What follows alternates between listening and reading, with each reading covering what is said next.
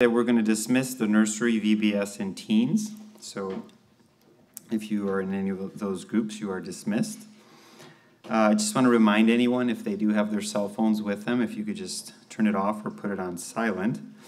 We're going to be opening up uh, with the hymn. Uh, the hymn is Everyone left. is that later? Okay, sorry. I, so we're going to be starting off with a hymn. That hymn uh, is titled "Come." sorry, "Come Thou Font of Every Blessing." It's going to be the first verse and the last verse. You don't have to look for it because it will be on your. It is on our screen. So if you can, if Brian Brian will take it from here. Thank you. Remember to stay up. Take it from here.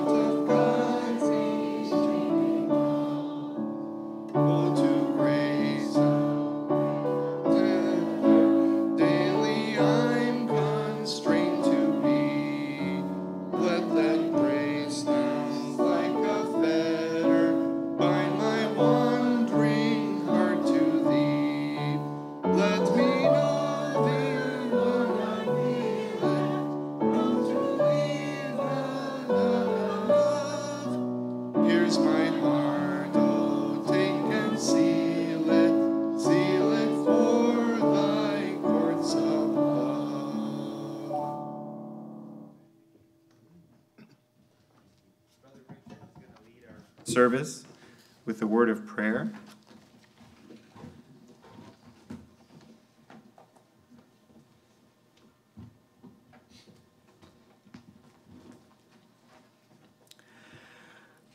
Our great and holy and wonderful and wonderful, fantastic Father in heaven, we just thank you so much. This is three days so far we've been here worshiping and praising you, hearing messages, and eating, eating the spiritual food that you have prepared for us.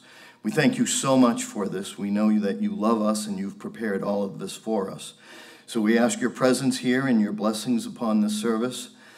Please bless Brother John as he delivers the mes- message, and as, as well, open our ears to receive it and our eyes and our, and our hearts to know that you have made this for us and for our benefit and for our growth. So we thank you. We love you and we ask this all in our Lord and Savior, Jesus Christ's holy name. Amen. So it's my pleasure to introduce Brother John Haselden from Billinge, England. The topic of his sermon is Our Unchangeable Savior. Our Unchangeable Savior. Brother Haselden.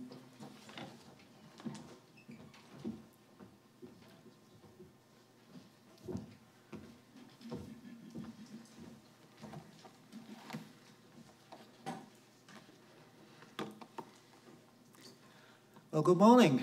good morning. It's that time of year again. You ready? Smile.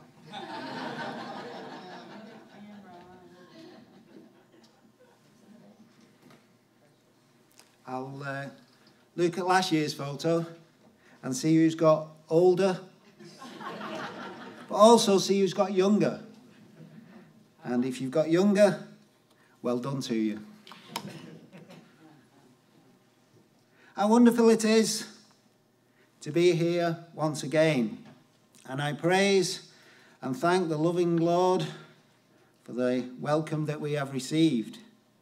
Firstly, may I take this opportunity to thank once again the committee of CBC for inviting myself and Helen to give the opportunity to speak from God's Word.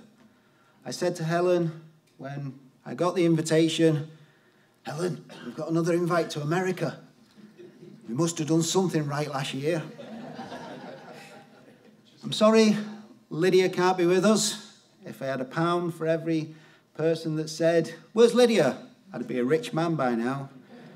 She really wanted to be here, but work and holidays didn't allow it. So maybe one year I will bring the whole congregation of Billinge Christian Believers Fellowship with us. We have a great number of young ones, and I would love them to experience this wonderful conference. Last year was my first year, and I felt humbled to be a part of something that many great elders have been a part of in the past. I was totally uplifted, fully nourished to listen to the different speakers. And I feel the same this year, so I thank you all once again. I send the love from all the brethren at Billinge Christian Believers Fellowship. For those of you who don't know who we are, we are a small group of ranging of about 20 brothers and sisters in between a little, well, a little village in between Liverpool and Manchester. I'm sure you've all heard of those places. We range from the youngest being at the age of four, right through the age range, to the oldest being our brother Ronnie, who celebrates his 80th birthday this year, and he's still going strong. We have a blessed and full calendar of events. Since I was here last year, and the younger ones of our church have been learning about God's plan from the beginning and the last time they met, they looked into Daniel's image. Wow. I'm sure they could teach a few of us a few things about it. And I would like to share two scriptures with you all this morning from all your brothers and sisters in Christ at Billinge. And I would like them to share like you to share them with your respective classes when you meet with them again. They're from the Apostle Paul writing to the church in Thessalonica. Reading from 1 Thessalonians chapter 1 verses 2 to 4 he says, "We give thanks to God always for you all, making mentions of you in our prayers, remembering without ceasing your work of faith and labor of love and patience of hope in our Lord Jesus Christ, in the sight of God our Father." knowing, brethren, beloved, your election of God. And then in 2 Thessalonians chapter 1 verse 3 he says, "We are bound to thank God always for you, brethren, as it is to meet, because that your faith groweth exceedingly, and the charity or the love of every one of you all toward each other aboundeth." So they are from Billinge to you all. So, once again, I thank you for welcoming myself and Helen to be part of a wonderful and blessed conference of like minded brothers and sisters in Christ, all sharing and wanting the same thing, and that is to be part of His bride when He returns very soon. Our unchangeable Saviour. In the pursuit of godliness, the Apostle Paul writes to Timothy Godliness with contentment is great gain. My brethren, in and through the one I want to speak about this morning, we can find that contentment. Could we all please open our Bibles in the book of Hebrews, chapter 13?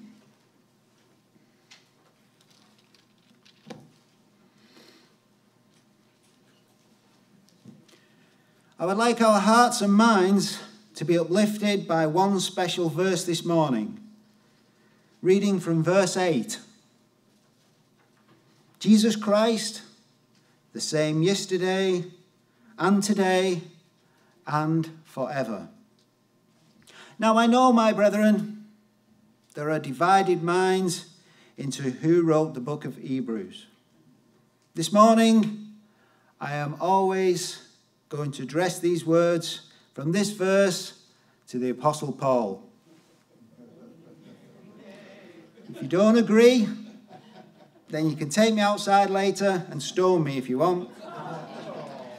Or better still, we can discuss it later over a cup of tea. But I'm sorry, you won't change my mind. You will be aware of the fact that the final verses of most of the epistles of Paul and the other apostles deal with the matters of practice, the outworking of the gospel, and also with rather personal matters. So, usually, you have a number of greetings, a farewell, a passing on of greetings from other Christians and other churches. You might be tempted to say, therefore, that in the final chapters of these epistles in the New Testament, you might expect subjects of rather lesser importance and lesser doctrinal significance. But that is certainly not the case. And with so many of the statements which are made here in the final chapter of the Epistle to the Hebrews, above all, it is not true that the verse that I have chosen to open our hearts and minds on this morning is a matter of secondary importance. My, my brethren, listen to the words again. Jesus Christ, the same yesterday and today and forever. It is very obvious that the Apostle Paul is trumpeting one of the central truths of the New Testament church, one of the greatest affirmations imaginable concerning the person of our Lord and Saviour Jesus Christ. But why does Paul the Apostle put those words here in the book of Hebrews? Well, it seems to me that the apostle is doing here is this. He is giving sort of a summary of everything he has said in this epistle up to this point. We talk sometimes about putting something in a nutshell.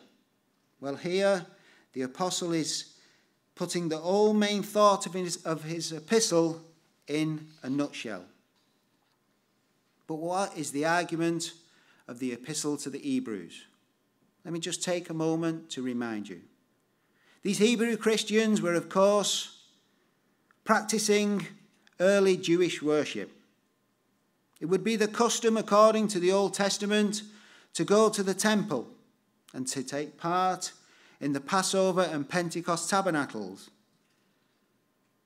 The worshipping of God by those Old Testament forms and sacrifices and offerings, and the calendar dates and festivals of the Old Testament. Now, what, what had happened to them is obviously this they had heard the gospel of Christ during their own lifetime, and they had become to that gospel. They were converted Hebrews, but then they had to suffer for their faith. They had lost their homes. They had lost their property. They had been put out.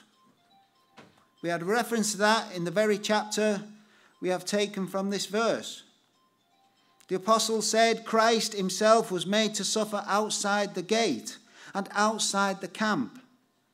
And we must be, as Christians who have turned to him for redemption, and must be prepared to go suffer with him in the same kind of way. This, my brethren, had been a stumbling block to the Hebrew Christians. And they were tempted to go back to the ancient Hebrew religion. And so the great argument used by Paul is this Christ, he says, is greater than anything that ever appeared before. He is greater than the angels. He is greater than the great man Moses. He is above all of the Old Testament, of the priests of the Old Testament in history. Jesus Christ came to bring an offer to God, a better sacrifice than the priest could ever offer in Old Testament times. He has come to confirm a better and eternal covenant by his own precious redeeming blood. He is the true eternal high priest. All the Old Testament priests but were temporary, Christ, he says, is the great everlasting priest, according to the will and the word of God. The Lord hath sworn and will not repent. Thou art a priest forever after the order of Melchizedek. Psalm 110, verse 4. So, brethren, you see, his argument really is this that Christ is better than anything that ever appeared in the Old Testament times. He is higher, he is greater, he is far superior, more effective, and more able to save than anything and anyone that has ever appeared before. So, my brethren, in our verse this morning, he's given an outline or a brief statement, ev- summarizing everything he has said thus far, and he puts it in these memorable words Jesus Christ, the same yesterday and today and forever. So, my brethren, I want to spend a little time this morning opening up just a little on this passage. Just a little on this passage with you as it concerns the person of Jesus Christ and his glory. And the first thing I want to draw to your attention is something very obvious. That here, in the person of Jesus Christ, we have someone who is utterly different from everything or anyone we know here in this world. I ask you, is there anyone in your life or mine which are permanent? Friends, they come and go. Is there anything in your life which you can say is everlasting, that's unchanging, that is eternally the same? There's nothing that we know here in this present life. If we go back to the beginning of the Bible, to God when He created all things and when He finished the universe, and He saw how beautiful it was, and saw that it was very good, and, and He placed man in paradise.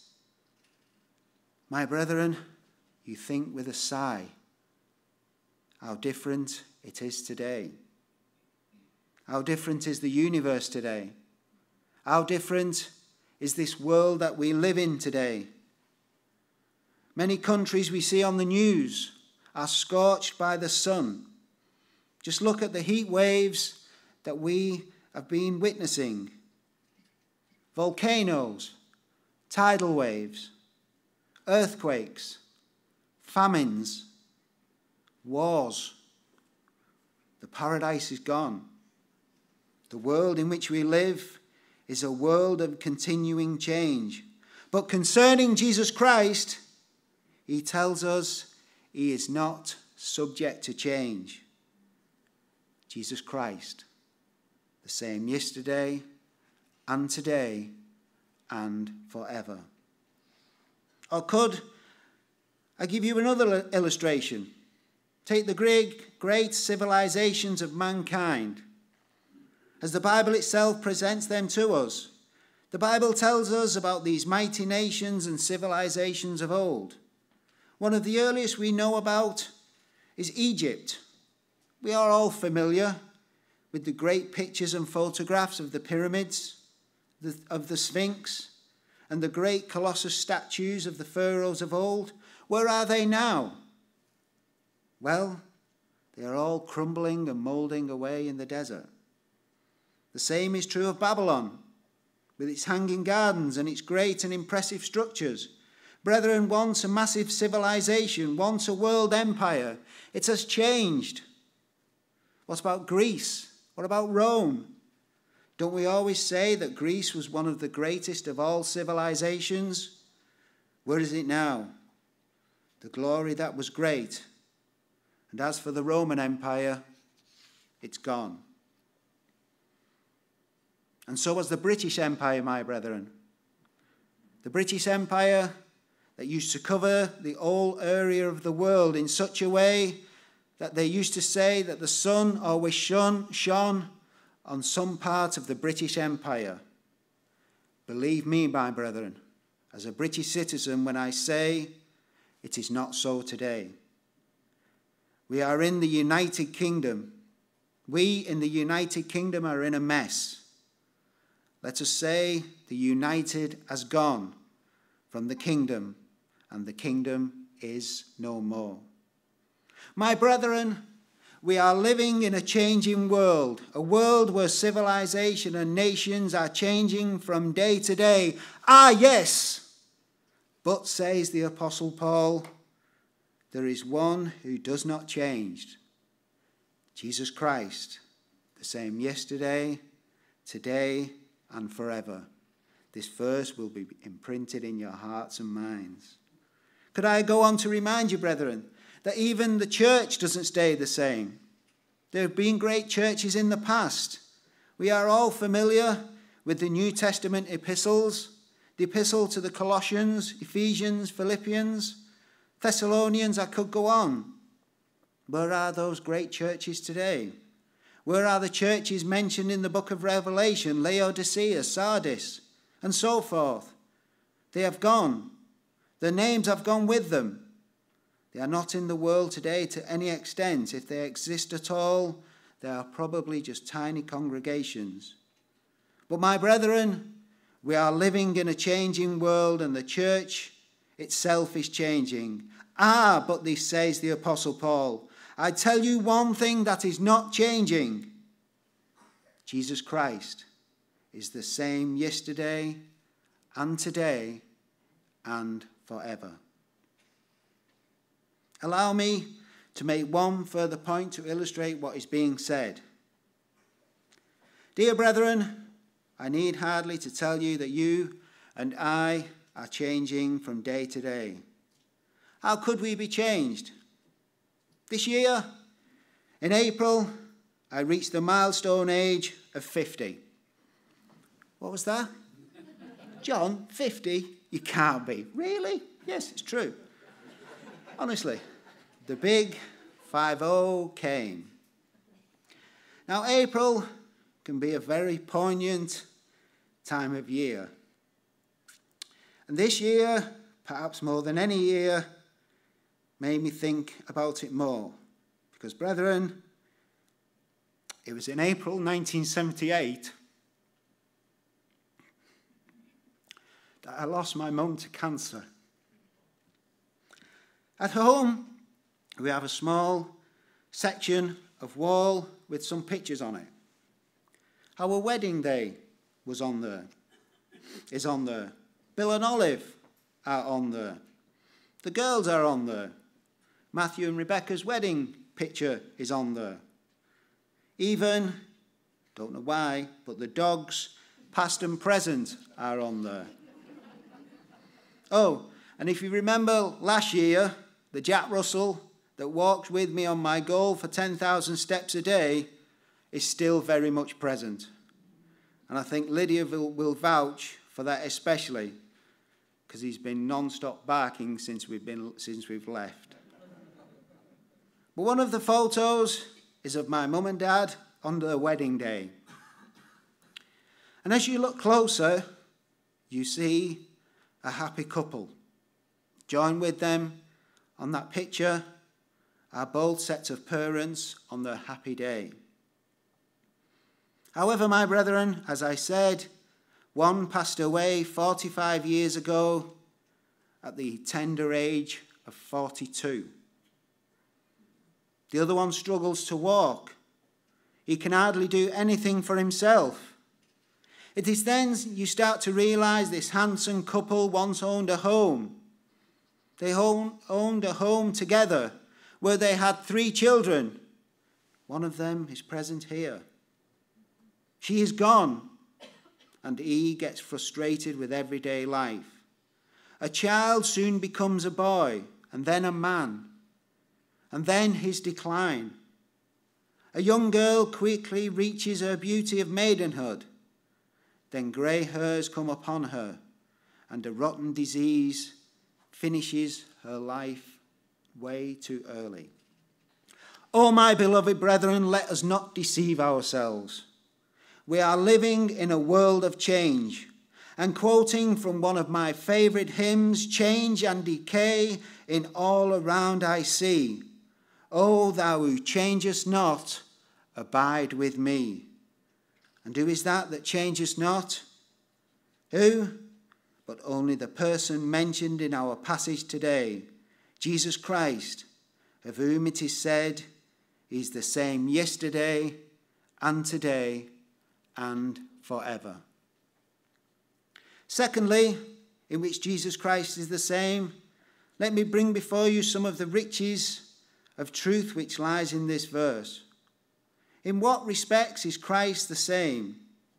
You remember how Jesus Christ offended his hearers in the course of his ministry by reminding them again and again that he and is the Son of God.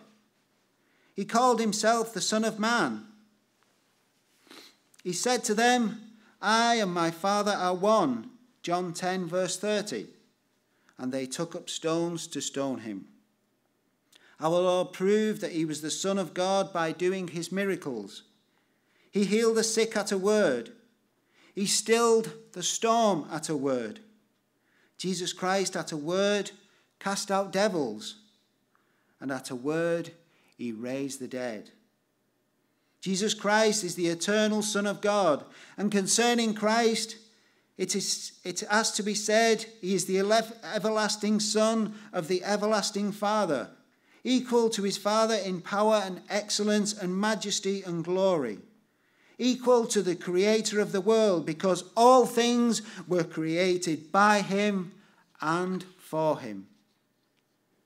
Now, brethren, when Paul says that Jesus Christ is the same yesterday, today, and forever, his relationship to his Father is the same.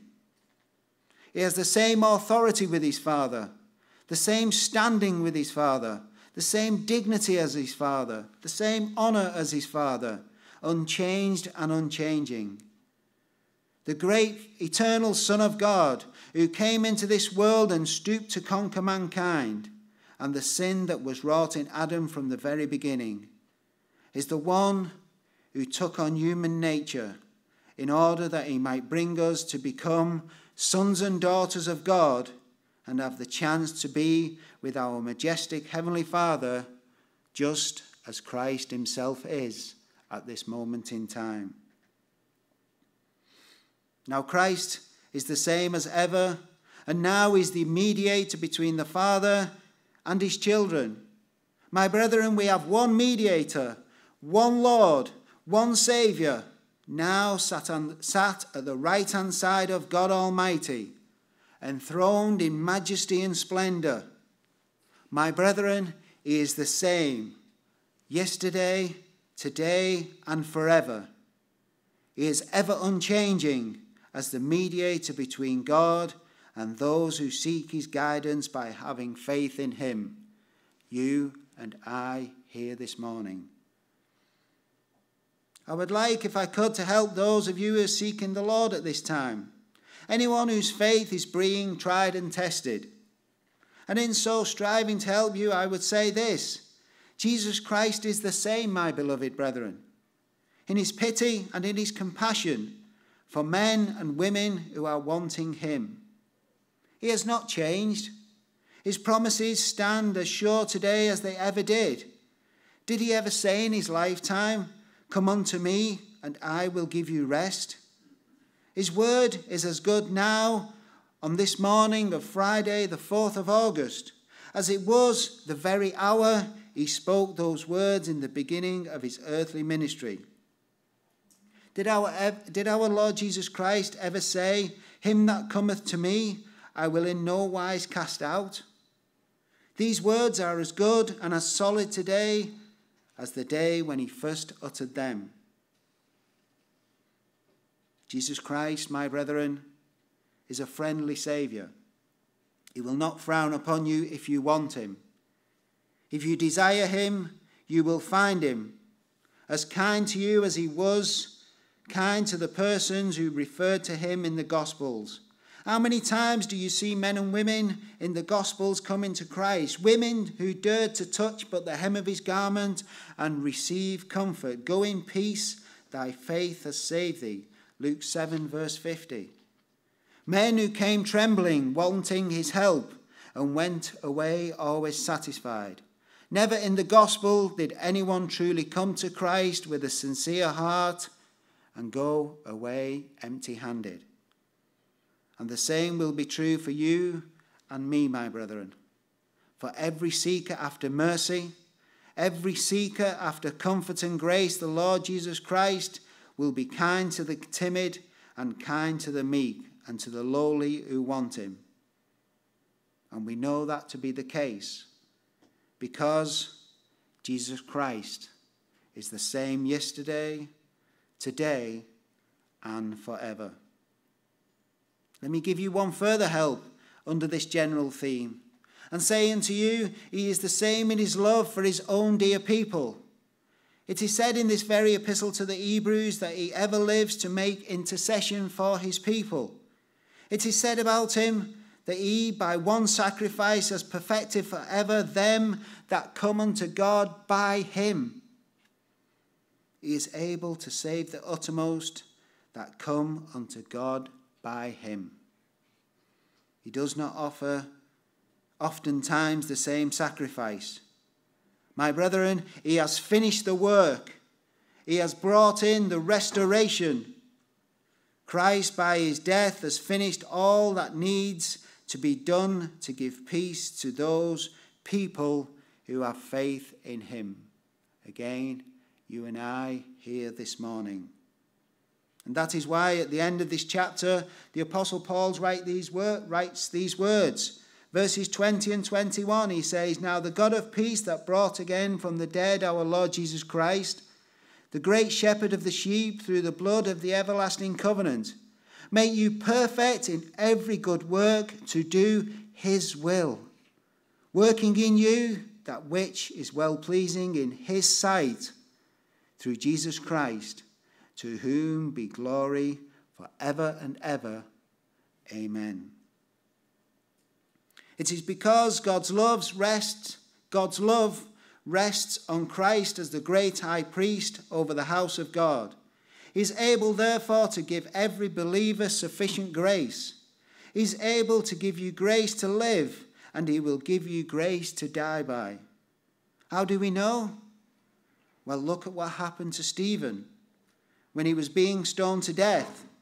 Bearing witness to the truth, he lifted up his eyes and saw the vision. And what was that vision? Behold, I see the heavens opened, and the Son of Man standing on the right hand of God. Acts 7, verse 56. The first Christian martyr, and he will receive all of those who died in faith because they belong to the Lord. So, my brethren, when the trumpet sounds, says the New Testament, and the dead are raised incorruptible, we shall be changed.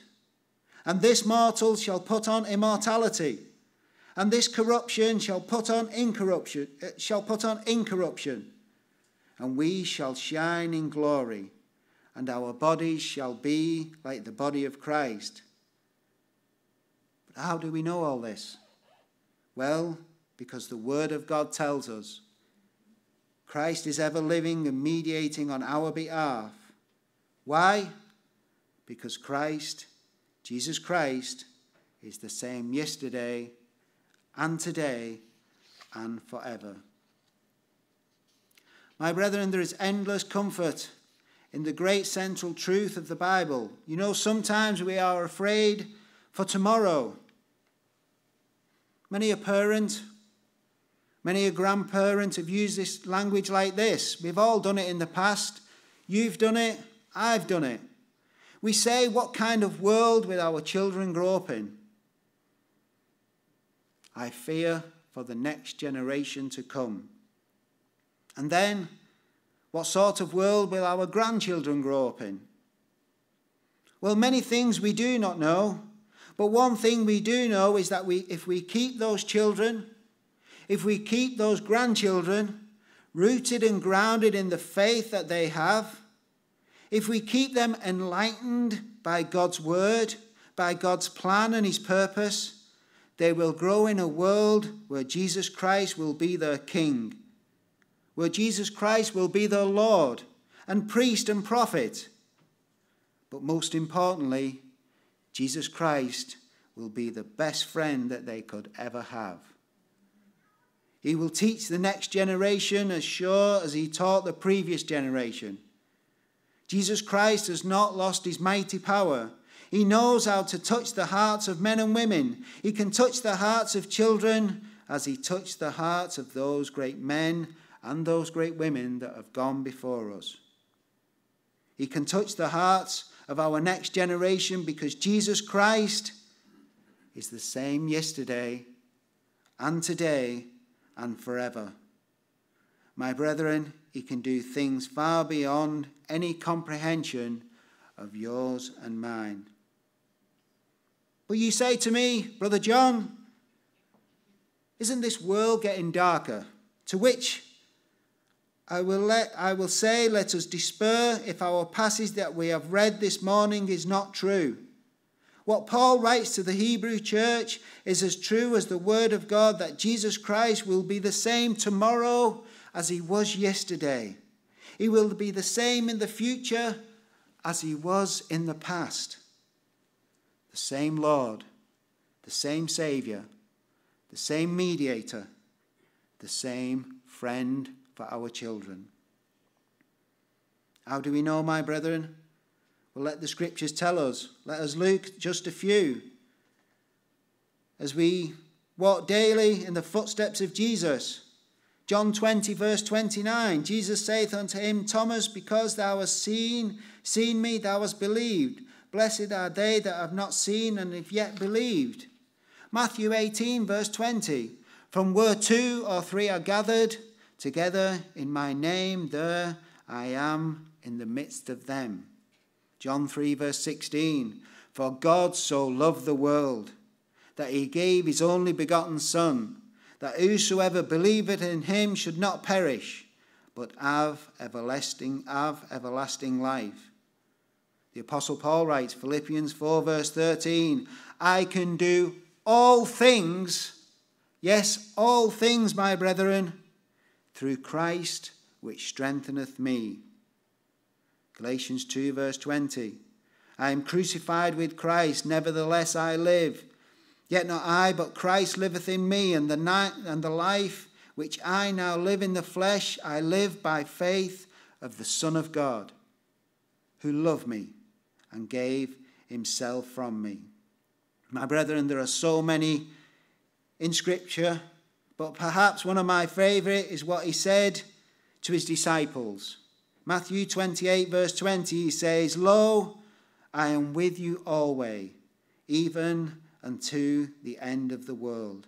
A closing promise transmitted to everyone who believes in him. A promise of his presence guaranteeing the success of the mission of the church to spread the gospel message. Because, my brethren, as our lead scripture says this morning, I am the same yesterday and today and forever. Our great and majestic Saviour, our friend, our mediator, Jesus Christ. My dear brethren, let us not be unduly afraid for the things that we seem to be threatened by in our generation. It is, after all, very much our unbelief that leads us almost to the verge of despair. Well might Jesus Christ say, to us, as he said to the others, O ye of little faith, wherefore did you doubt? Where is your faith? My brethren, let us take hold of this passage of Scripture. Let us take hold with both hands earnestly. Let us lay hold these words, what Paul wrote down for us so long ago, as the anchor of our hearts and minds. Jesus Christ, the same forever he will not leave or forsake his people. He has done what he has promised to do. All nations shall be blessed in him, and all nations shall call him blessed from the rising of the sun to the going down thereof. His name shall be great among the, among the heathen. But as I close this morning, may I make two applications. The first one is for any one of you or I anyone that you, and, you or I may come across in this world who are not professing Christians. Don't they see everything in this world as a passing shadow? Don't they see the madness of living for the things of time and sense? What are the people doing in this world this morning? All over the country, all over the world, all over, the, all over America, all over England, in the Western world. They're probably shopping. Probably still, people are still in bed, glued to the television. But tomorrow, they will be back to the grind. It's over tomorrow. Everything is moving like a shadow. But there is only one thing which is secure, one thing which is solid, and that is the foundation that we are built on in Jesus Christ. The same forever is our hope and our faith and our assurance rooted in Him. This brings me to the second application, and it is to all gathered here this morning. Make your profession of Christ that He is truly in your heart. Tell the world you are not ashamed to confess Him amongst men and women in this present life, because Jesus Christ will never forsake you. My brethren, have no fear. Fear nothing and fear no one, but make Jesus Christ your fear and dread, because the only fear we have is the fear to displease Him and not walk daily in His footsteps. Though this world can strip you of everything you've got, serve Him and you will never be forsaken. His disciples, in the days of his flesh, took up their cross and followed the Lord until they themselves, in some cases, were also brought to the cross and to crucifixion. Did they die with tears and fears? No, not they, my brethren. They died the great death of great men.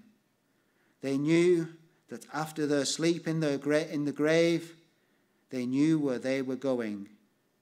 When Jesus returns, they are going to the place which they were informed about the house of many mansions. Why would you want to go there? Because there they would see him face to face, for whom it is said, He is Jesus Christ, the same yesterday and today and forever. This is an unchangeable world of the great unchangeable Saviour. Our unchangeable Saviour, my brethren. So let us therefore take it upon ourselves to take comfort as we face the duties and privilege that we have as being part of the glorious bride of Christ. And always remember that Jesus Christ is the same yesterday and today and forever. May God bless you all. Amen.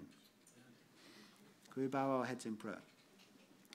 Most gracious, most loving Heavenly Father, we come once again before you in prayer. As Father, we thank you for our Lord and Saviour Jesus Christ, the one we have spoke about this morning, the one that you sent from your side to give his life on the cross for the sin of all mankind. Father, we thank you for your ministry, for his ministry. We thank you that you sent him and we thank you that he died on the cross. And Father, we wait with bated breath and in great anticipation for that glorious day of when he returns to receive us all as his bride.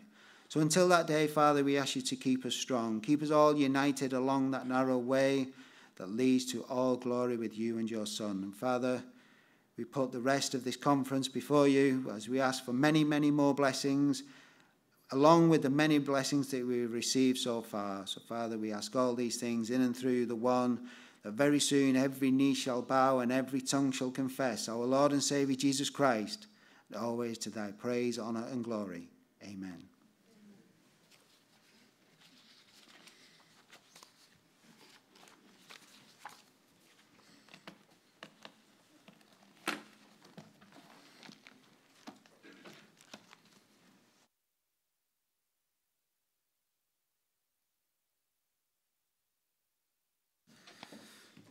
Thank you, Brother John. We're going to take a short break, uh, but before we break, just uh, an announcement. If you haven't registered yet, please see uh, Sister Sherry Blake uh, so you can get registered. And also, if you haven't taken the time to sign the cards in the back, we encourage you to do so.